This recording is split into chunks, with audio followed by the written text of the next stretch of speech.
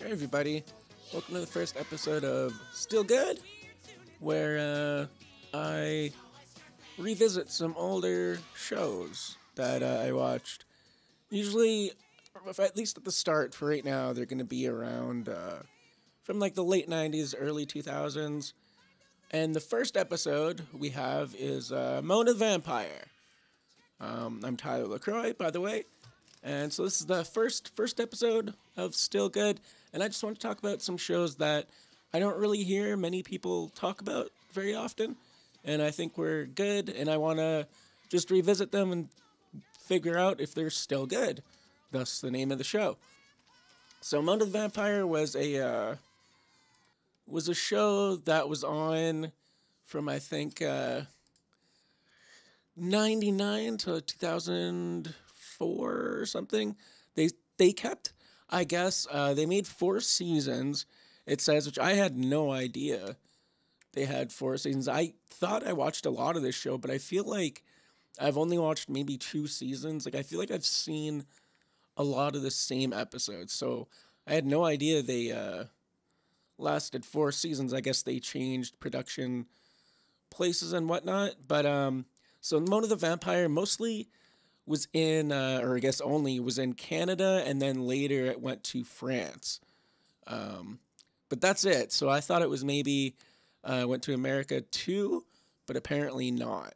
So uh, Canadian show lasted yeah four seasons, which was surprising surprise to me, and I also didn't realize, although it says at the start of the show, but I like I haven't watched the show in a long time but it was based on a book series, I guess, by uh, Sonia Holleyman, is I guess her name, and uh, I guess it was a, a, series of children books that was written in the '90s. Like I said, it was only out for a little bit. I never, I had no idea there was books of it. You'd think I would know that, or I would have seen it like in Scholastic or something. Maybe they were in Scholastic.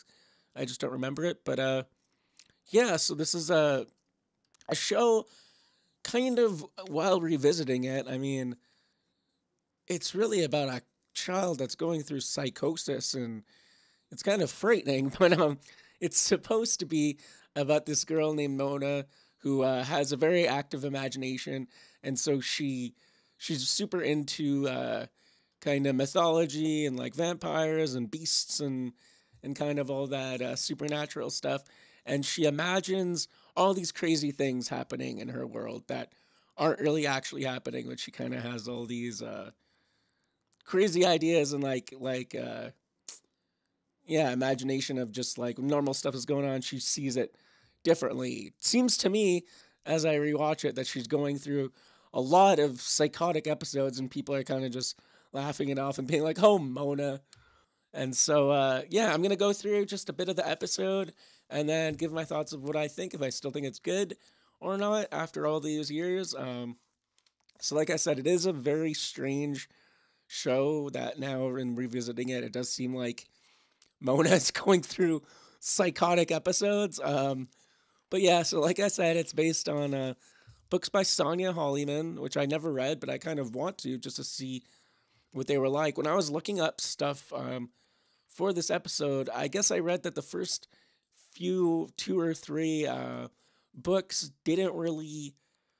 It was like Mona the vampire, I guess, but it was more about Mona kind of being into weird stuff and having a different obsession of the day or whatever.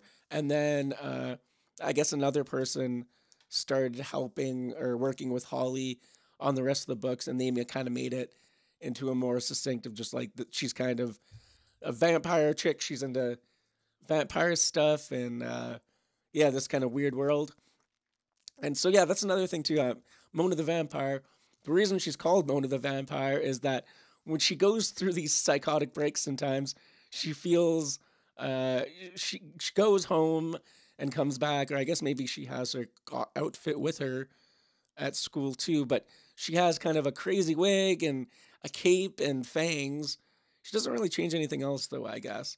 Looking at her, she still wears her same shirt and stuff. But yeah, she puts on a, a cape and a crazy wig and fangs and becomes a vampire. And I don't I don't know why she's a vampire exactly. Her friend is dressed like the tick almost. And then she has another friend that's dressed like a a princess that's like a meth addict or something. It looks it's very strange. Also the uh the eyelashes, the way they make girls' eyelashes in the show, it's like they have three eyelashes, but they're so thin and when they some characters have makeup on them, it kind of just makes it look like uh like yeah, just a girl a, a rough looking girl. Looks like they're all a bit rough like when you see girls with just very thin eyelashes and like kind of uh, makeup not very well done, just like purple makeup around the eye. That's that's kind of just smudged. I don't know. It gives a weird appearance though. At least that's that's what it seems like to me. But uh, so yeah, Beast by Books by Sonia Holleyman. I already said that. Um, so Mona has uh, in this episode. So uh, each episode, I'm I'm guessing it's this for every episode, but it's like a two part episode. So uh, it's like there's like 12 minutes for, or I guess like 11 minutes for one episode, 11 minutes for another episode. So the first part of this episode, um, the Sam and Ella thing that I remember is in the second part.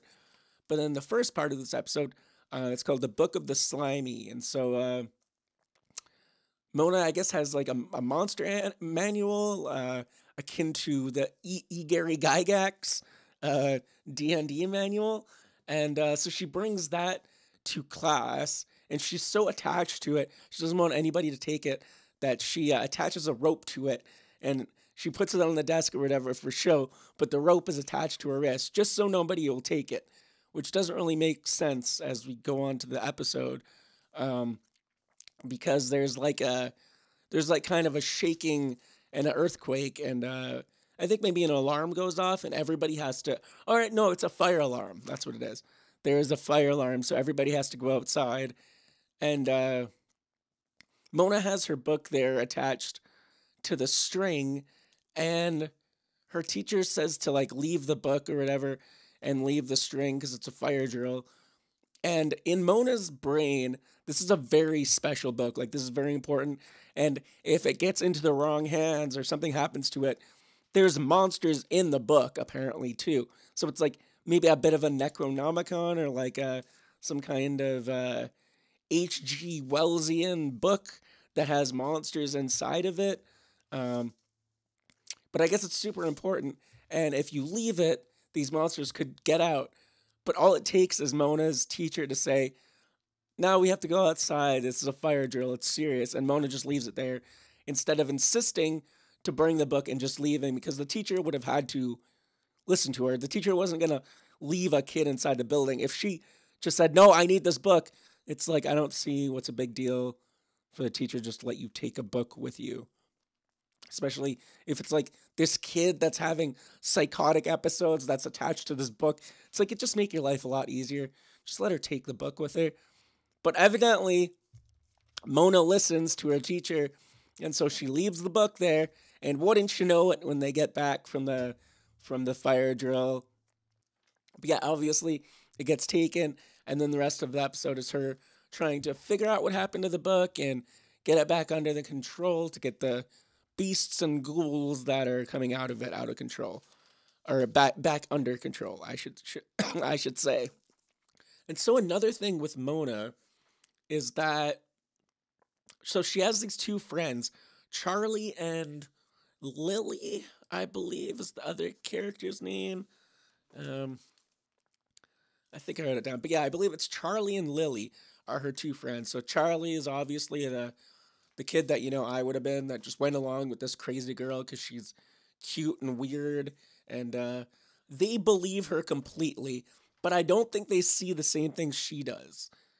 I think it's all kind of a weird Mona psychosis, and they believe her kind of like she's a crazy cult leader and these are her two uh her two uh what would be the word her two students or her two uh dis- disciples i guess so that's weird because they they just completely believe her now i would like to watch uh the first episode again maybe just to get an idea of like maybe there's something happened there's a reason that they completely believe her but at this point in the series um i'm not sure Let's see if I can find. Uh, so this is season one, episode 17 and 18, but they put it into uh, one episode. But so this is still in season one, but a little bit later in the season. So like six, seven episodes in, I guess, since they're two part episodes. But yeah, since this is uh, season season one, about seven episodes in, I guess I don't, I don't know. They drank the Kool Aid. They they completely believe Mona, even if they don't see stuff. They she's sending them notes and stuff, and they're just immediately believing her, and it's kind of frightening because as the show goes on, it's like she's really doing shit. She's attacking things. She's she's seeing shit. It's very real to her, and that's a bit frightening because it's like sure it's fun in games now, but this bitch gets older. I'm sorry, I shouldn't I shouldn't be swearing in this. I feel like this should be more more uh of a friend family friendly show, but I mean yeah, I mean this bitch is crazy. I can't I cannot say it, but this is and I don't like to talk badly about mental health and stuff, but like this bitch is crazy and nobody's doing anything about it. Like everyone's just like, oh, it's just a act of imagination, and it's like, no, this girl's gonna cause problems. She she could kill somebody at one point because she believes they're a monster. It's a it's a bit scary, but so yeah, there she has a a first. Sometimes it's hard to tell if her friends are in see what she sees or not, but I think uh, everything is kind of happening in her head, and she thinks people see stuff because there's a, a, a moment that she has she has a multiple I'll call them hallucinations because that's that's really what they're like breaks from reality. Um, but during her second hallucination, it's very clear that something's happening in the room, and her friends are not very far away from her, and they do not see it at all. But she sees it clearly, and she's freaking out about it.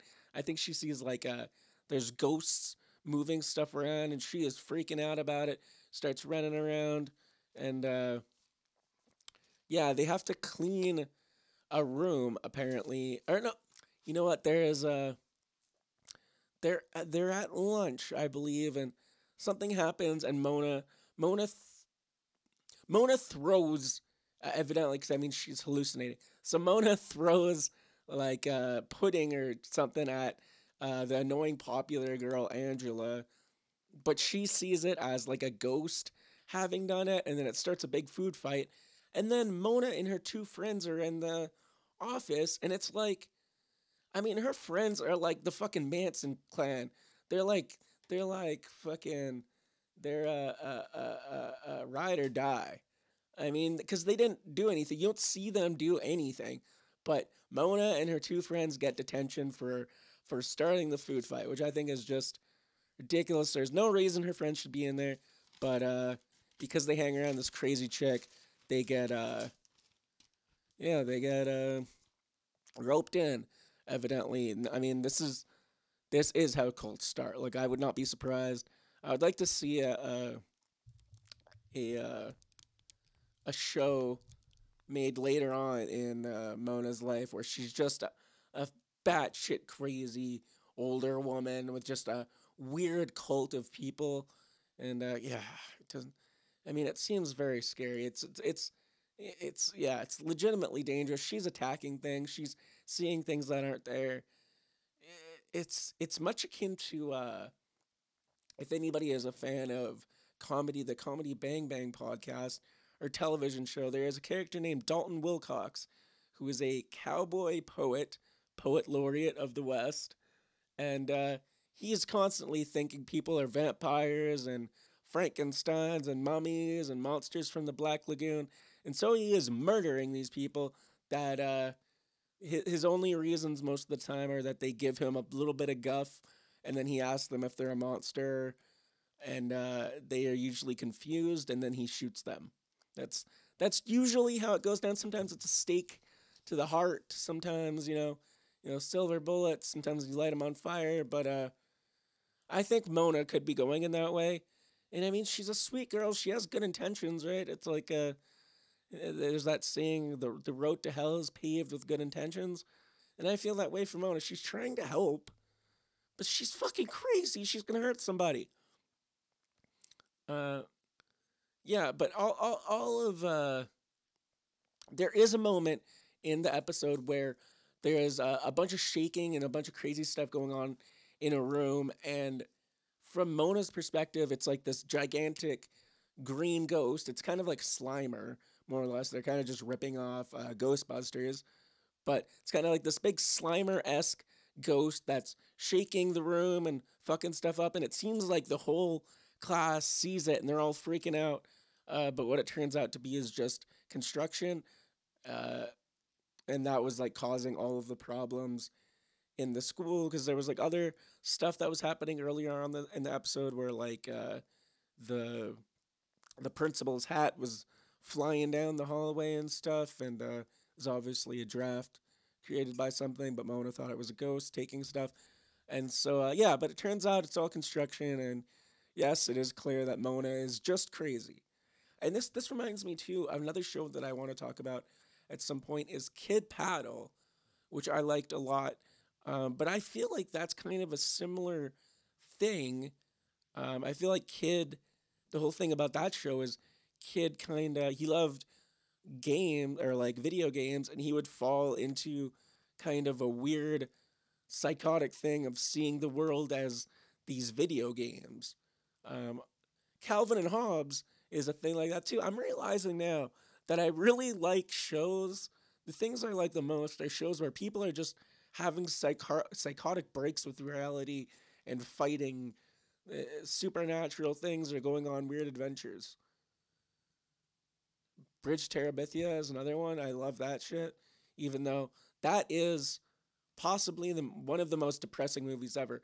I loved it as a kid, but I could not watch it now. I would, I would cry so much, and just when, uh, uh, if you haven't seen it, I won't ruin it or the book or anything, but when a, a, a certain thing happens in the in the story, that just breaks me. I couldn't even I couldn't even think about watching that now. It's just too fucking sad. And it's like it's for kids, which I realize the uh the reason the author it, the reason it is so depressing is cuz the author's son had a friend who uh tragically uh died, I believe by like a strike of lightning or something.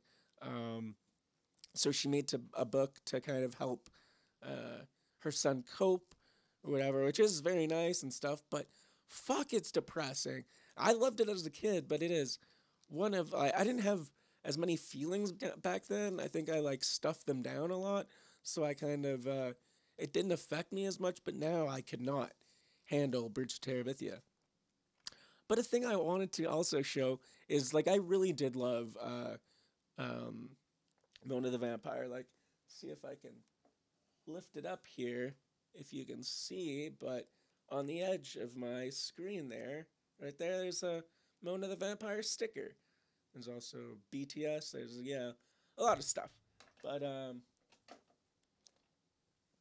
love that Mona the Vampire. But I'm actually gonna show you. Uh, I have a few books, but I, I th- it might be because of this show, but I loved all this. Uh, fantastic, you know, creatures, mythological kind of stuff, zombies, you know, vampires. Loved all that stuff, fairies. So I'm going to show you uh, one of the books I have. I have a few different ones, but I'll show you this one.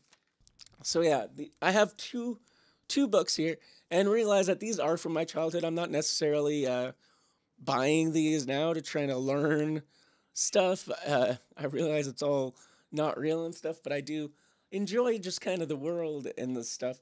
I kind of want to get a a D and D uh, beastie or like a monster manual just to have because it's kind of fun. But I do have Pathfinder and I have Pathfinder books and stuff, so that's uh, more or less the same thing. But this is the thing. I mean, it's still in great condition. I've had for a long time. Uh, it's called the the Fantasy Encyclopedia here. It's a very pretty book, but it's a guide to the fabulous beasts and magical beings, from elves and dragons to vampires and wizards. Fuck yeah. I want to see uh, if I can see when this was put on. I mean, it's in great condition still. Uh, let's see. Oh, the foreword is from Jonathan Stroud, which, uh, if you've uh, uh, Amulet of Samarkand. Know if you've ever uh, read that book. It was the Baron. No, not Baron Samedi. That's a different thing. Ah, I can't remember, but there was a book series by Jonathan Stroud that's uh, really, really good. And yeah, the first book is called Amulet of Samarkand. So this is from 2005. So that's probably, I would assume, maybe around where I got it, maybe a little bit later, but I probably most likely got this from Scholastic Book Orders, I would assume. And uh, this one, I think this had a different cover to it, but Mysteries of the Unexplained. Oh, you know what? Maybe not.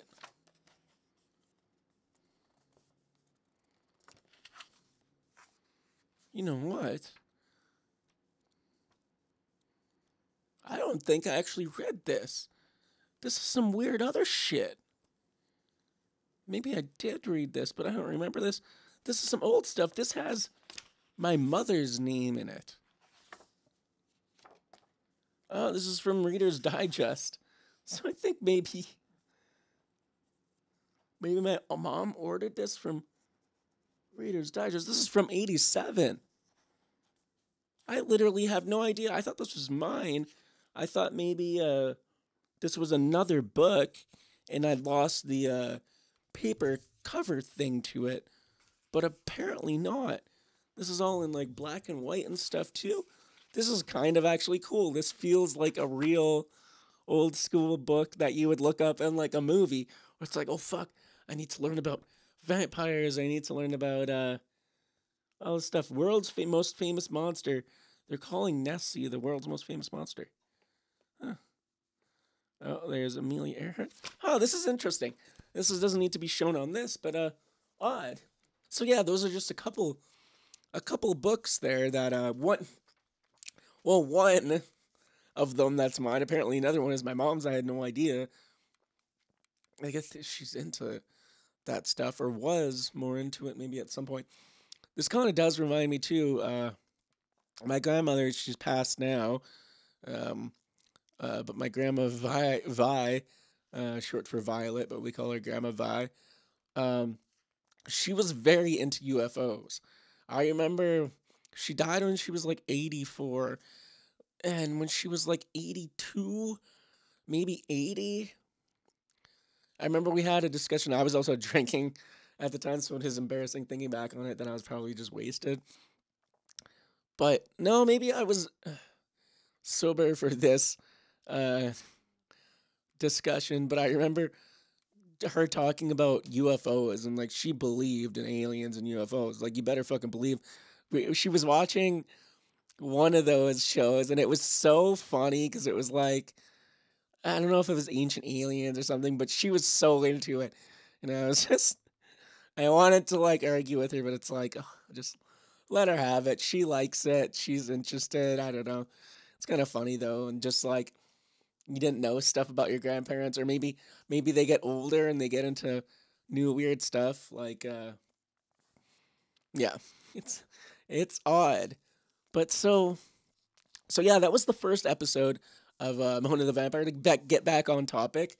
Um, and and then the next one here is my uh, so yeah, evidently it's the episodes don't have you know huge story arcs. I mean there are only 11, 12 minute uh, things, so it's kind of like there's a bit of a problem, and they figure it out fairly quickly. It's not too big of a deal, so it's like yeah she she lost her book, uh, left all these. Uh, Oh, I guess I guess if you want to know what happened to the book, uh, the popular girl took it. They immediately knew she took it. They waited a little bit to ask her what happened to it. She told them. Uh, I guess they found it somewhere, and it was as easy as that. And then, yeah, they had to put the ghosts back, and they used a vacuum cleaner, like like Ghostbusters. So yeah, they were just ripping off Ghostbusters. But uh, yeah, that was literally that's literally the episode. It's not not huge not big crazy stories. Um, so the second episode uh, revolves around uh, these new characters, Sam and Ella, and they're food inspectors, but uh, uh, I guess then just inspecting how good the, yeah, how good the school's food is, and uh, Mona is just learning.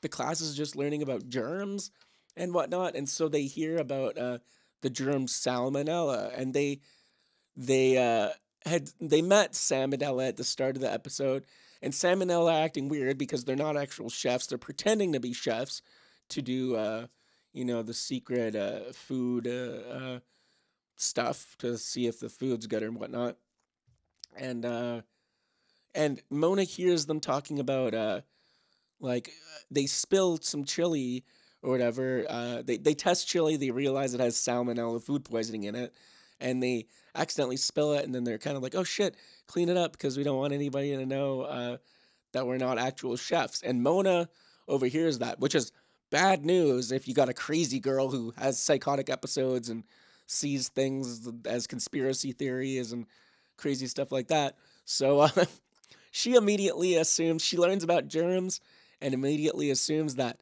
yep, salmonella are poisoning the food and comes to the conclusion, well, she sees it, I believe, in her head that uh, salmonella turn into these parasites and then shrink down and go into the food when uh, really the food was already tainted with salmonella poisoning from the previous chef. So salmonella are fine people; they actually don't do anything wrong. the The thing that does it is uh, when salmonella. I, I think they're they were probably planning on throwing out the chili, but as uh, because Mona wants to help, but she's a crazy person, so she causes problems all the time. She takes the chili in an effort because she already at this point realizes Sam and Ella, Sam and Ella, oh my god, they're terrible bacteria that's gonna, you know, infest the food and make us all sick. So she goes to the kitchen and sees that there's this chili. So she takes it downstairs. She takes it. Her and Lily go find a place and they go and hide it. So nobody will eat it. But the goddamn principal, he has a nose like a fucking dashhound. No, that's not like a bloodhound. That's a dashhound is like the dash uh, dashhound. I don't even think is how it's dachshund. I think I'm saying it wrong. Yeah, I'm not smart. I'm not trying to be smart doing this. I'm just trying to talk about a show I like. But anyway, the principal has a nose like a goddamn bloodhound, like a fucking drug sniffing dog, and he can sniff that chili. And boy, does it smell good because I guess the cooks were reheating it.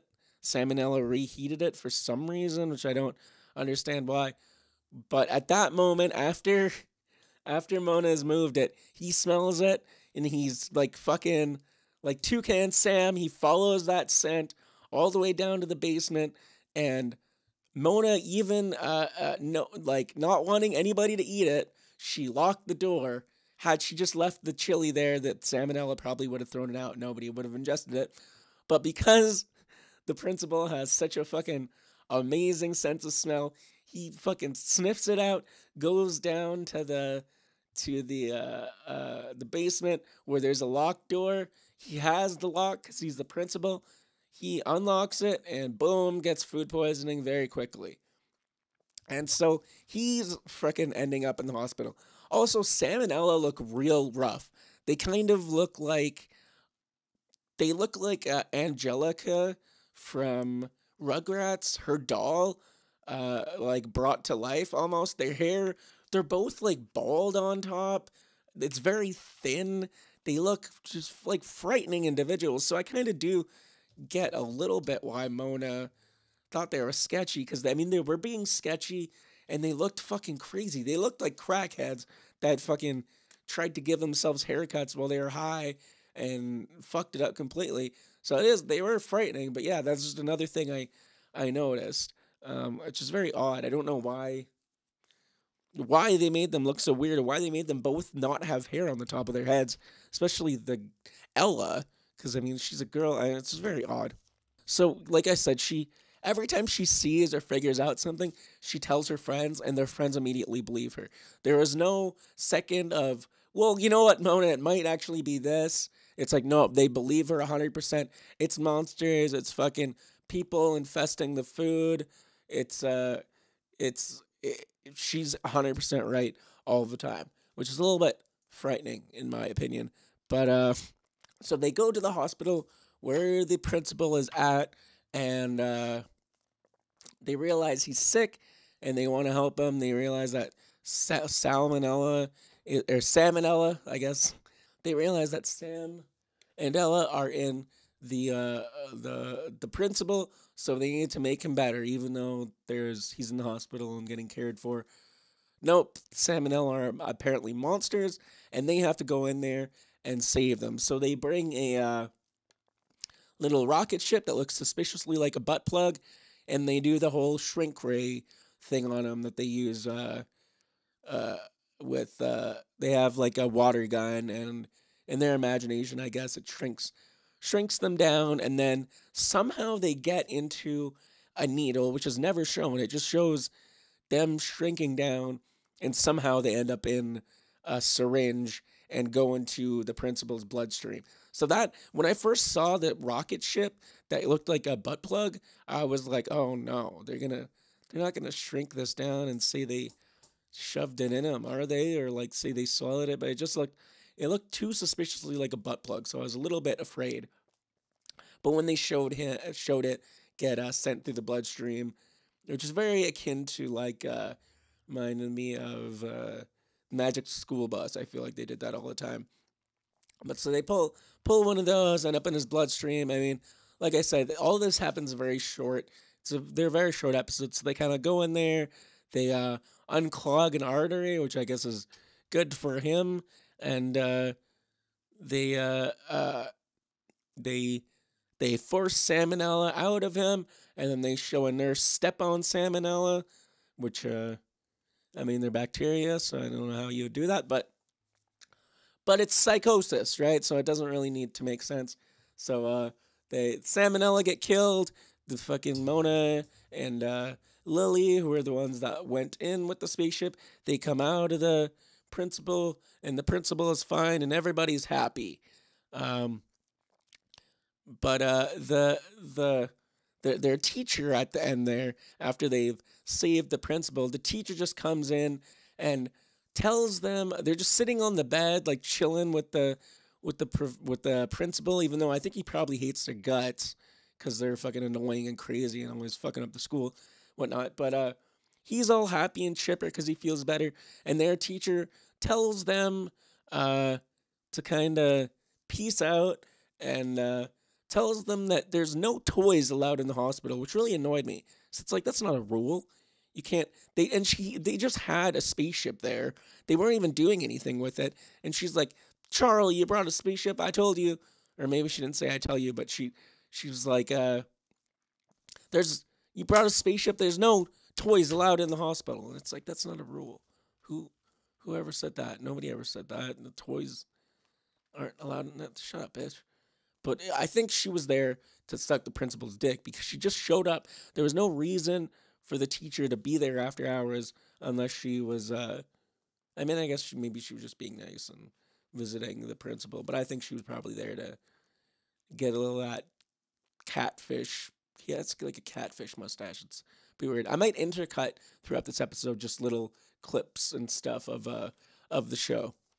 So yeah, the teacher teacher comes, uh, tells them to kind of peace out, and uh, yeah, that's the end of the episode. So they're not not any crazy episodes, not big story arcs. Just uh, one is just a book that gets lost, and they find it, and everything's all they vacuum up ghosts, and everything's all hunky dory, and then uh, and then salmonella infest uh, infest a principal, and they have to get it out, and it's very quick. Ultimately, though, um, I thought the show was still fun. I mean, the short episodes are silly, they're stupid. The girl obviously is having horrible psychosis. She should probably be put in some kind of uh, mental hospital.